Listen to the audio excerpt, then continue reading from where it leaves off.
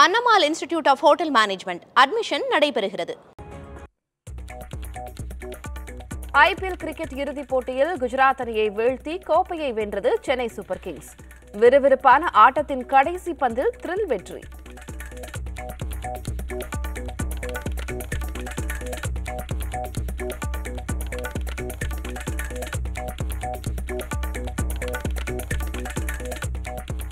ஐந்தாவது முறையாக IPL champion பட்டம் வென்றதால் சிஎஸ்கே மற்றும் தோனியின் ரசிகர்கள் கொண்டாட்டம்.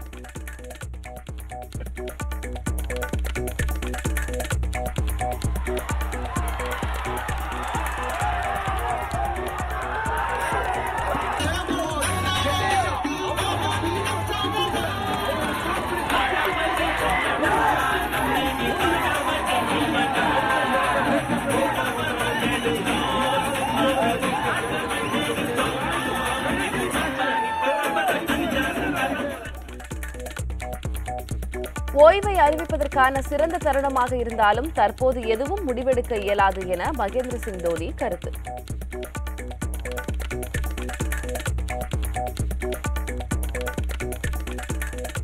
குஜராத்தில் வெற்றி கொடி நாட்டிய சென்னை அணிக்கு முதலமைச்சர் மு ஸ்டாலின் வாழ்த்து. காங்கிரஸ் கட்சி பிசிசிஐ செயலாளர் ஜெய்ஷா கூகுள் சிஇஓ சுந்தர் பிச்சை உள்ளிட்டோரும் வாழ்த்து தெரிவித்து டுவிட்டரில் பதிவு.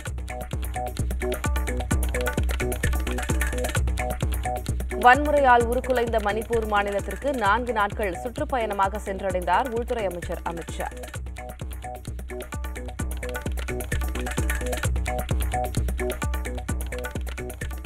ராஜஸ்தான் மாநில தேர்தலில் முதலமைச்சர் அசோக் கெலாட்டும் அதிருப்தி தலைவர் சச்சின் பைலட்டும் இணைந்து செயல்பட சம்மதம்.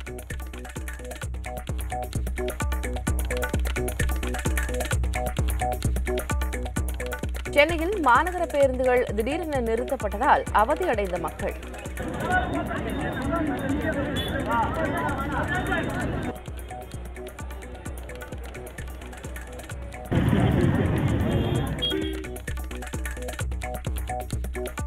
சென்னையில் சில மணி நேரத்திற்கு பிறகு பேருந்து போக்குவரத்து இயல்பான நிலையில் தொழிலாளர்களின் பிரச்சினை பேசி தீர்க்கப்படும் என அமைச்சர் சிவசங்கர் உறுதி.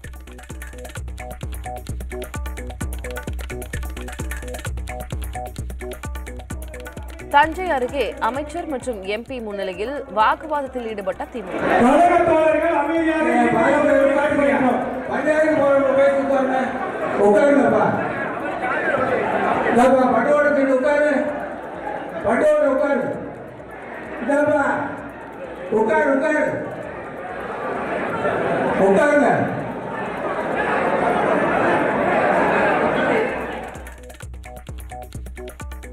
முதலமைச்சர் மு ஸ்டாலின் முன்னிலையில் ஜப்பானைச் சேர்ந்த ஆறு நிறுவனங்களுடன் எண்ணூற்று பதினெட்டு கோடி ரூபாய் முதலீட்டிற்கு புரிந்துணர்வு ஒப்பந்தங்கள் கையெழுத்து.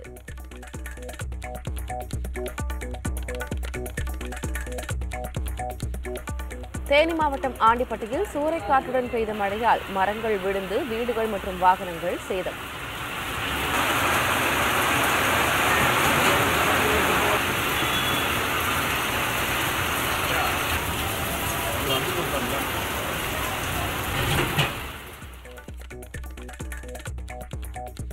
கோவை மாவட்டம் மேட்டுப்பாளையத்தில் வணிக வளாக பகுதிக்குள் காட்டு யானைகள் நுழைந்ததால் அச்சமடைந்த மக்கள்.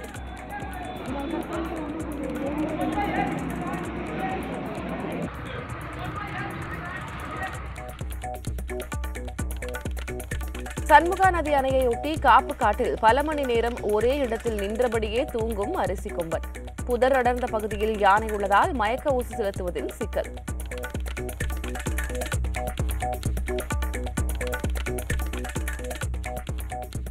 காரைக்காலில் நெடுஞ்சாலை பணிகளுக்காக மூடப்பட்ட வாய்க்கால்களை மீட்டு மீண்டும் பாசனத்துக்கு பயன்படுத்த வேண்டும் என விவசாயிகள் கோரிக்கை.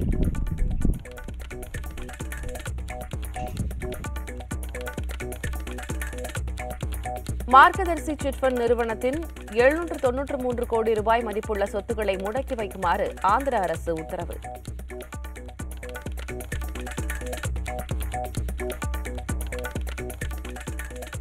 கேரள மாநிலத்தில் சுற்றுலா படகு வீடு கவிழ்ந்த விபத்தில் தமிழகத்தைச் சேர்ந்த மூவர் பத்திரமாக மீட்பு.